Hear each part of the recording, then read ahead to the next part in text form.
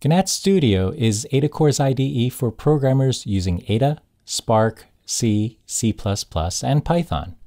It's lightweight and quick compared to many other IDEs and is the place to go to access all of AdaCore's tools, including compilers and debuggers, as well as tools like SPARK Pro, CodePeer, GNAT-Test, and GNAT Coverage.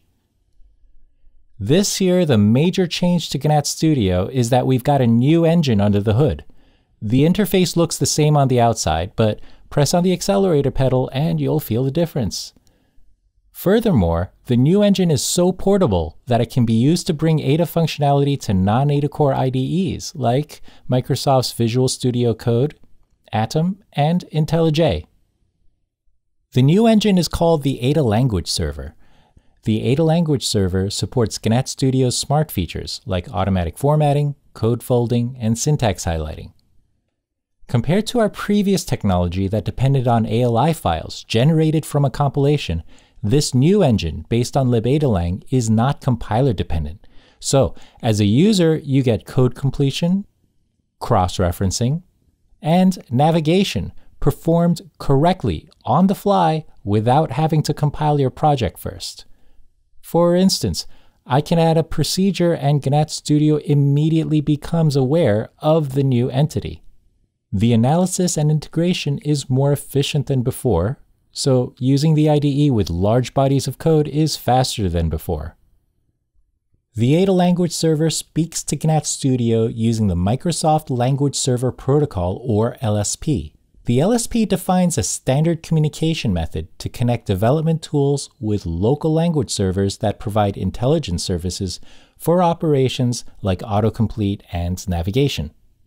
This common framework makes it easy for IDEs to support more languages, and it makes it possible for language-specific code to be reused.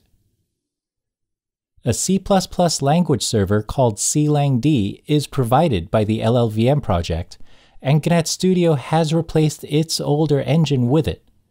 The CLangD language server is more reliable and more actively developed, and it reduces the maintenance burden on AdaCore's GNAT Studio engineers.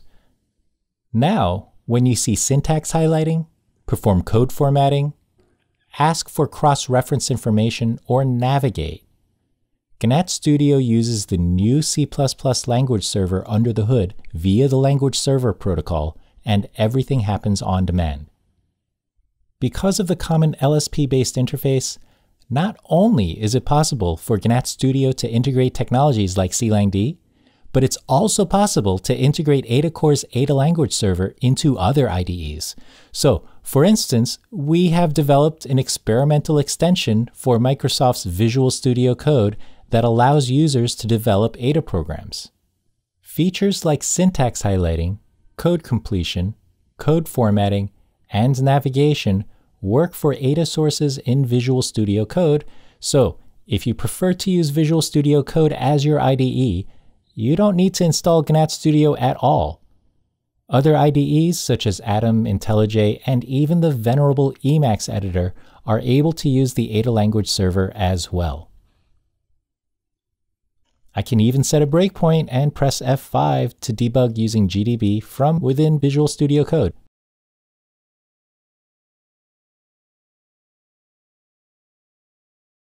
The GNAT Studio 21.0 preview release is available now. Our GNAT Studio 21.1 major release will happen in February of 2021, and our 21.2 corrective release will be published in July 2021.